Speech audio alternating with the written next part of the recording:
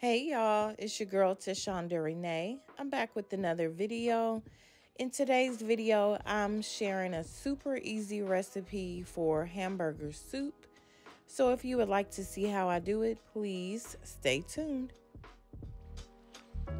All right, to get started, I'm gonna brown one and a half pounds of ground turkey. Um, you can definitely use ground beef. That is how most people make it, but I don't eat beef, so I'm using ground turkey. To my ground turkey, I'm gonna add some onion and celery. And um, I just kind of roughly chopped both. I like my soups to be kind of chunky, so I leave my pieces kind of big. You can definitely chop yours down smaller if you prefer. I'm gonna season the turkey with garlic powder, onion powder, black pepper, and a little salt. Once the meat is just about done, I'm going to add some minced garlic. I'm going to allow that to cook for about the last three to four minutes of the browning process.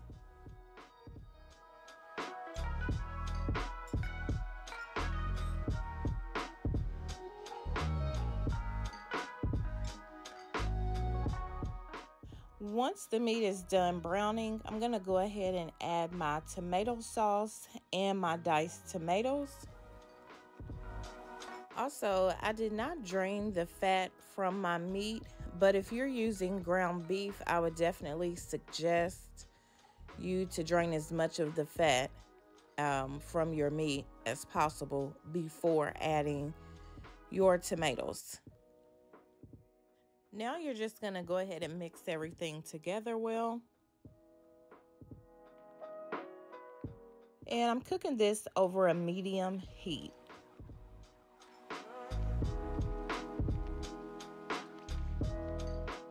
Next, you're going to add your chicken broth.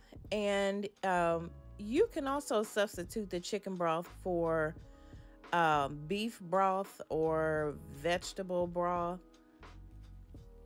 You could also use water as well.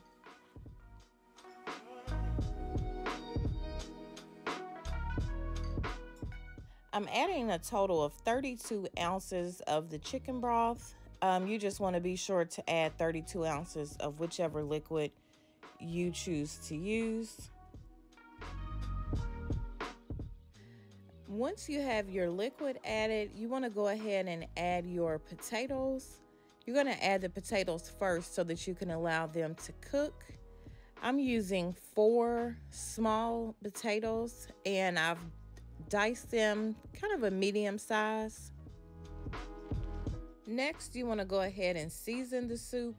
So I'm using Italian seasoning, basil, red pepper flakes, and bay leaf. I used two bay leaves and um, I'll be sure to list the ingredients and exact measurements of everything I use to make this soup down in the description box. So be sure to check that out.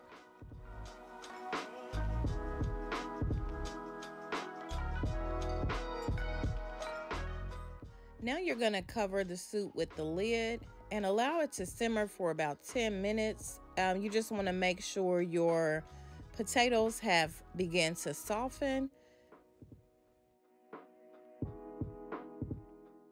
After 10 minutes, you're going to remove the lid and add about a tablespoon to a tablespoon and a half of W sauce. I'm not going to say it because I don't know how to say it, and y'all are not going to tear me up in the comments. And so after you've added the W sauce, you want to go ahead and add your additional veggies. And for this soup, I'm using frozen corn and frozen green beans. You can definitely add a bag of mixed vegetables or you can add whatever veggies, you know, your favorite veggies or the veggies of your choice. These are just the ones that I wanted to add today.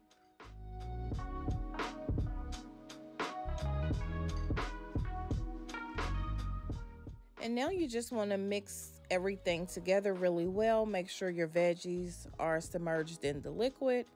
And you're going to place the lid back on top and allow your soup to simmer for about 20 minutes.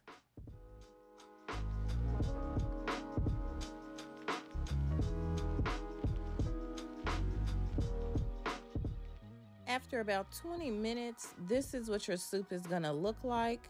At this point, you want to go ahead and taste your soup to adjust the seasonings if needed. Um, you have not added much salt at all at this point. And um, you may need some salt being that you've added the potatoes and corn and green beans.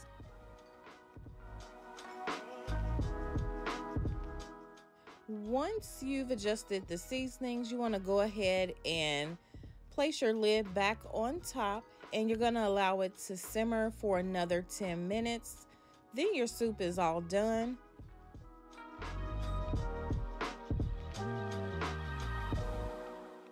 So this is the final product. This is what the soup looks like once it is done. And let me tell you, this is some good soup. It is so, so good, so flavorful. Um, once it is done, you want to be sure to remove the bay leaves from your soup. Um, you definitely don't want to serve those to anyone. This is a huge pot of soup. I would say it serves anywhere from four to six people, maybe even more.